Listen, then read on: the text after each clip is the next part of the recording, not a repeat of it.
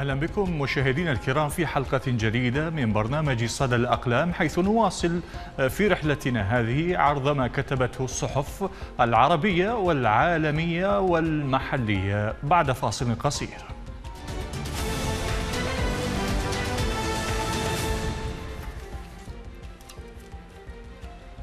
أهلا بكم. المقال الأول بعنوان منع ومنح وأموال وسكن مريح. للبنانيين في العراق وأهل العراق تحت خط الفقر للكاتب هشام التميمي. صحيفة طريق الشعب هشام التميمي كتب وفي مقاله يقول ينتقد بشدة التمييز الصارخ الذي تمارسه الحكومة العراقية في تقديم المساعدات للبنانيين على حساب المواطنين العراقيين أبناء البلد يستعرض الكاتب هنا مجموعة من التسهيلات التي تقدمها الحكومة للبنانيين مثل إعفاء من الفيزا والغرامات وتوفير السكن والتعليم المجاني في الوقت الذي يعيش فيه المواطن العراقي المسكين تحت خط الفقر ويعاني من سوء الخدمات. كما يشير إلى أن الأموال التي تنفق على اللبنانيين من المق المفترض أن تستثمر في تحسين أوضاع العراقيين والبلد والذين يعانون من الفقر والبطالة. ينتقد هنا الكاتب الفساد المستشري في المؤسسات الحكومية العراقية ويعتبره العامل الأساس والرئيس في تدهور الوضع الاقتصادي المتردي في العراق ويطالب بإعطاء الأولوية للشعب العراقي الذي يعاني من الفقر المدقع. والحرمان بدلا من الاهتمام الزائد بدول أخرى. في الختام يتساءل هنا الكاتب ومقاله عن مبررات الحكومة في تقديم هذه الامتيازات للبنانيين على حساب المواطنين المحليين الذين يفتقدون حتى للأساسيات. أقول للسيد رئيس مجلس الوزراء لماذا هذه المنح المجانية والدولارات أليس المواطن العراقي أحق بها؟ أليس المواطن العراقي هو صاحب هذه الأرض التي دافع عنها ومات أولاده؟ وهو الآن يأخذ راتب رعاية اجتماعية قدرها 180 ألف دينار لا تسمن ولا تغني من جوع. لماذا لم تنصف الموظفين وتغير وترفع من رواتبهم؟ وصار نواب البرلمان سنين يعيدون الموظفين ويكذبون عليهم. لماذا بعض الناس المعدمين يأكلون من القمامة والكثير من الساسة امتلأت بطونهم بالسحت الحرام ويقومون بتهريب أموال العراقيين إلى الخارج ليتنعموا بها وهي ليست مبالغ بسيطة بل ملايين الدولارات. وأكثر مثال صارخ سرقة القرن ونور زهير. لماذا المواطن العراقي ليس له دار تؤويه وسكن ولو خمسة وسبعين مترا في هذا الوطن؟ إذا لماذا هو يضحي من أجل من يضحي ويموت ويتشرد أولاده؟ وأكبر شاهد لدينا الشهداء الذين ماتوا وهم يدافعون عن بلادهم وعرضهم ماذا حصل؟ تشردت عوائلهم ولم تعط لهم أي حقوق. وتبتز نسائهم من قبل بعض ضعاف النفوس من كوادر الرعاية الاجتماعية ومديريات التقاعد. والله إنه شيء معيب ومخزي. وهل تظنون أنه لو حدث أي مكروه لهذا الوطن ثانية؟ سيقوم شبابنا بالتطوع لحماية الوطن؟ أنا لا أعتقد ذلك.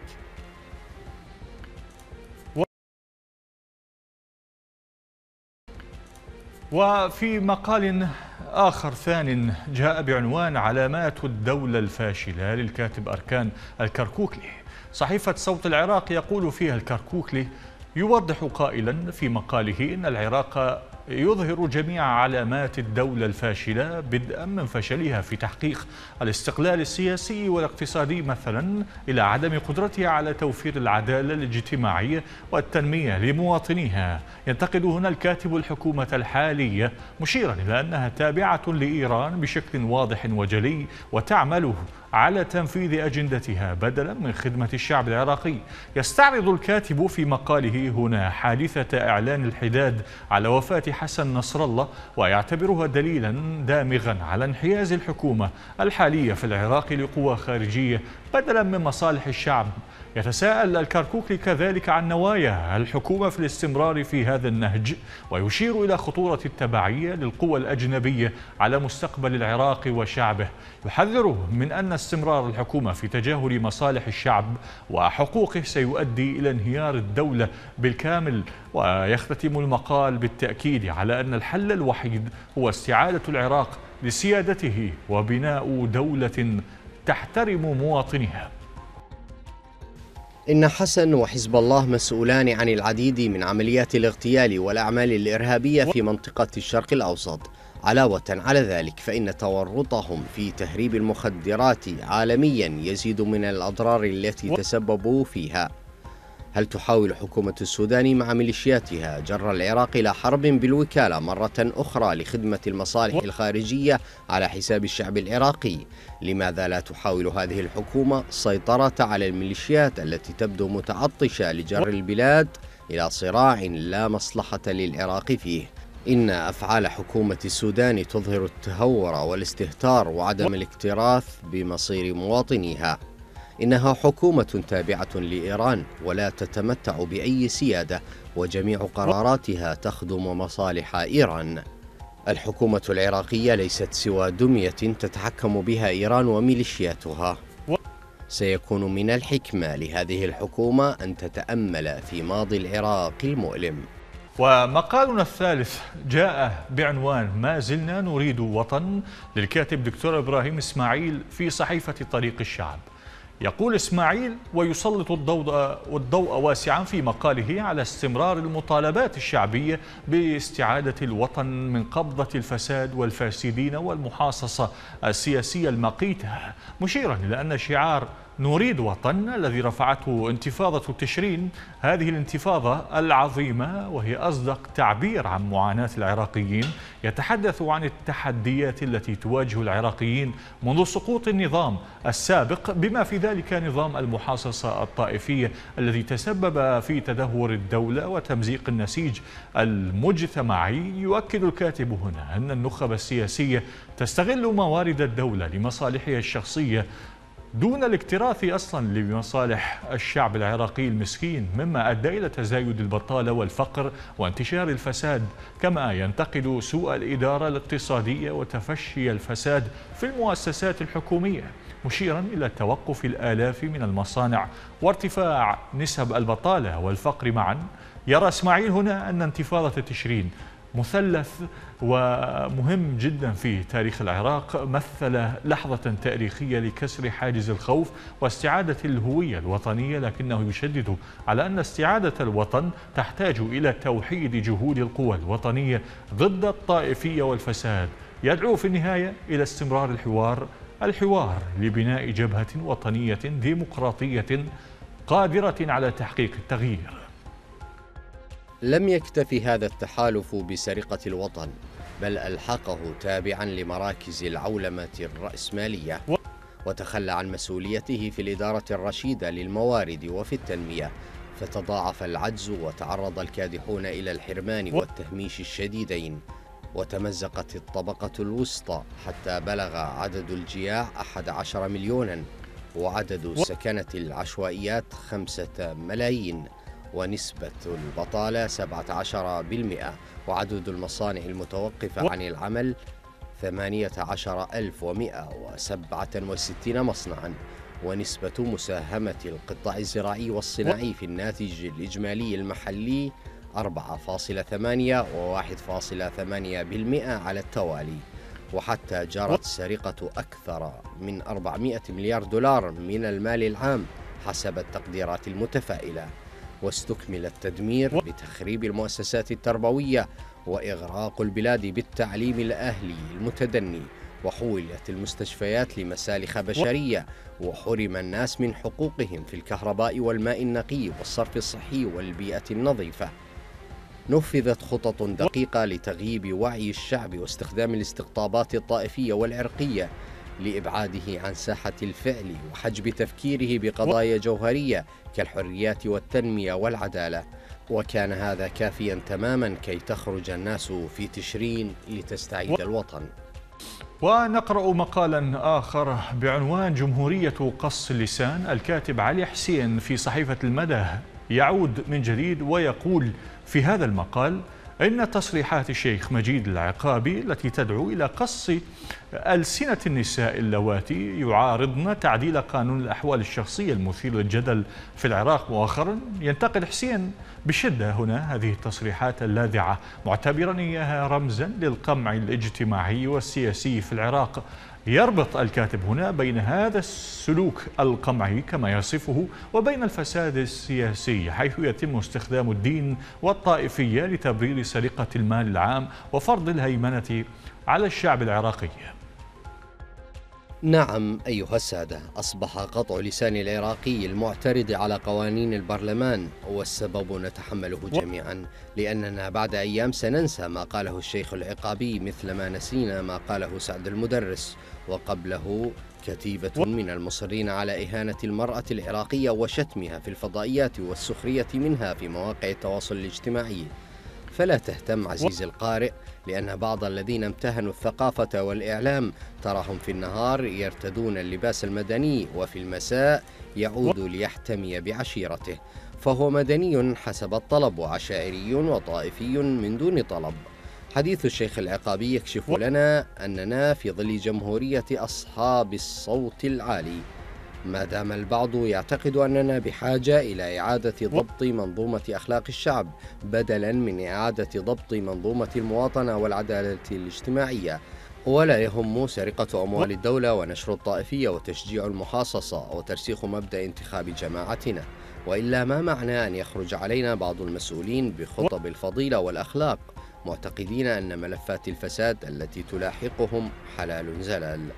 إن أحد أهم ثروات الشعوب الحية هي ثروة المواطنة إلا أننا والحمد لله مصرون أن يعيش المواطن دور التابع مطلوب منه فقط أن يذهب إلى صناديق الاقتراع لانتخاب جماعته.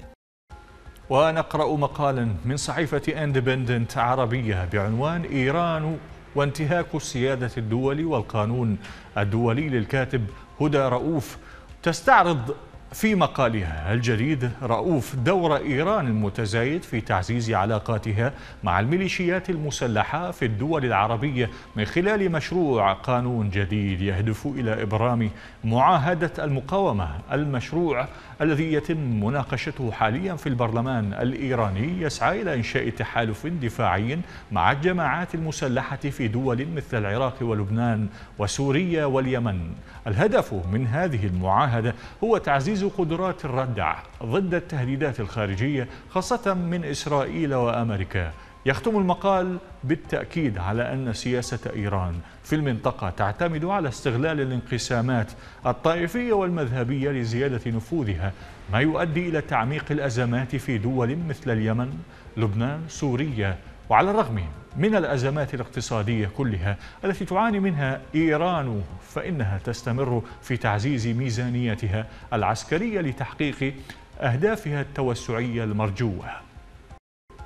يقصد بحركات التحرر الجماعات المسلحة أو الميليشيات التي إما أنشأتها إيران أو دعمتها عسكريا. فوفقا لتقارير وسائل الإعلام الإيرانية يقوم برلمان إيران بصياغة معاهدة دفاعية وأمنية. سيتم توقيعها بين مجموعات المقاومة والدول الداعمة لها. ووفقا لنص المعاهدة التي وضعت على موقع البرلمان الإيراني. سيتم إنشاء هيكل دفاع مشترك مصمم لمواجهة التهديدات الخارجية خصوصا من الولايات المتحدة وإسرائيل. وستكون جميع الدول الأعضاء أو الميليشيات مطالبة بتقديم الدعم الشامل بما في ذلك المساعدة العسكرية والاقتصادية والسياسية في حال تعرض أي دولة عضو لهجوم من إسرائيل أو حلفائها. وبحسب المجلس. من المتوقع أن يؤدي التعاون في بناء القواعد العسكرية ومراكز التدريب إلى تحسن الاستعداد ضد التهديدات المحتملة وأن الهدف هو تسهيل التنسيق بين القوات الإيرانية ومجموعات المقاومة. كما أن اللوائح التنفيذية للاتفاق بما في ذلك إنشاء أمانة عامة وتحديد المسؤوليات بين مختلف الوكالات. ستشرف عليها إيران. وتحاول وسائل الإعلام الإيرانية الترويج بأنه في حال تم تنفيذ الاتفاق فإن هذا التحالف من شأنه أن يغير بصورة كبيرة ميزان القوى في المنطقة ويقدم ثقلا موازنا هائلا للنفوذ الغربي الذي يسعى إلى إحداث الفوضى في المنطقة وفقا لها.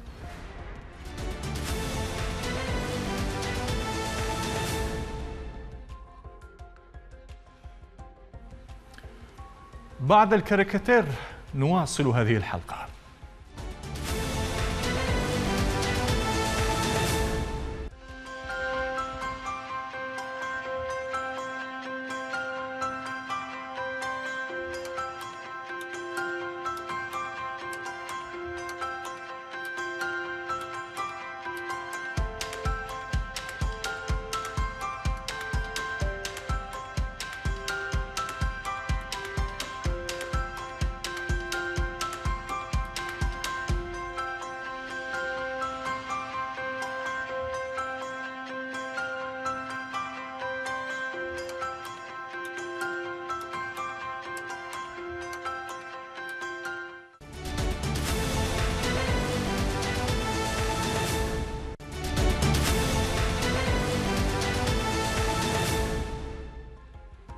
لم يجد المزارع الفلسطيني إسماعيل آه، عودة وسيلة لمواجهة اعتداءات المستوطنين الإسرائيليين الصهاينة التي عكرت موسم الزيتون هذا العام في الضفة الغربية المحتلة سوى لجوئه إلى حملة فزعة التي أطلقت لحشد ناشطين ومتضامنين في الحقول بهدف منع الاعتداءات على جنات الزيتون هناك. وفزعة هي حملة وطنية أطلقها وزير الزراعة الفلسطيني رزق سليمية في الخامس والعشرين من سبتمبر أيلول الماضي بالتعاون مع جهات حكومية ومؤسسات المجتمع المحلي ولجان المتطوعين المحليين والدوليين كذلك. وترجمت فعليا مع بدء موسم قطف الزيتون مطلع أكتوبر تشرين الأول الجاري عبر تنفيذ حملات قطف جماعي في عدة مواقع بالضفة الغربية بحضور ناشطين ومتضامنين عرب وأجانب. وعادة ما يشن مستوطنون إسرائيليون هجمات على المزارعين المزارعين الفلسطينيين وحقولهم وتتزايد في هذه الآونة. الهجمات مع موسم قطف ثمار الزيتون خلال أكتوبر تشرين الأول ونوفمبر تشرين الثاني من كل عام.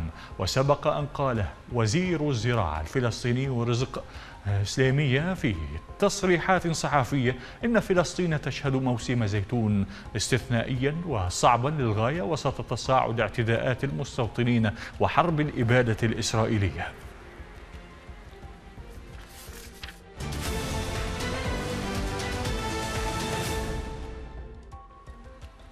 نتابع الآن فيديو اليوم Hello from the tent where we reside. I'm Shaban Ahmad, 19 years old. I'm a student studying software engineer.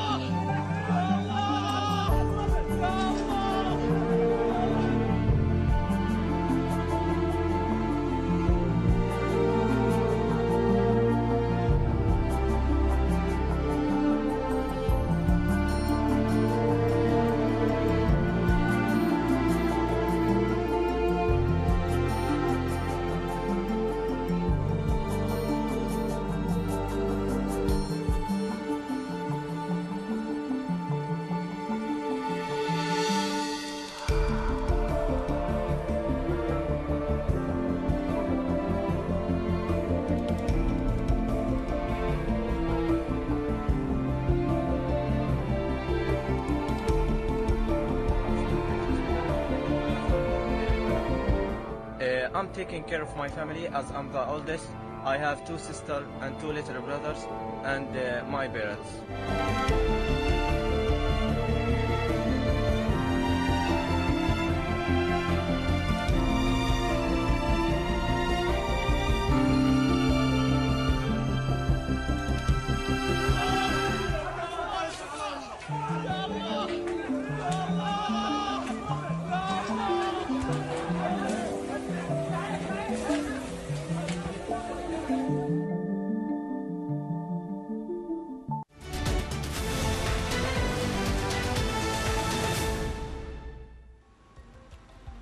إلى اللقاء.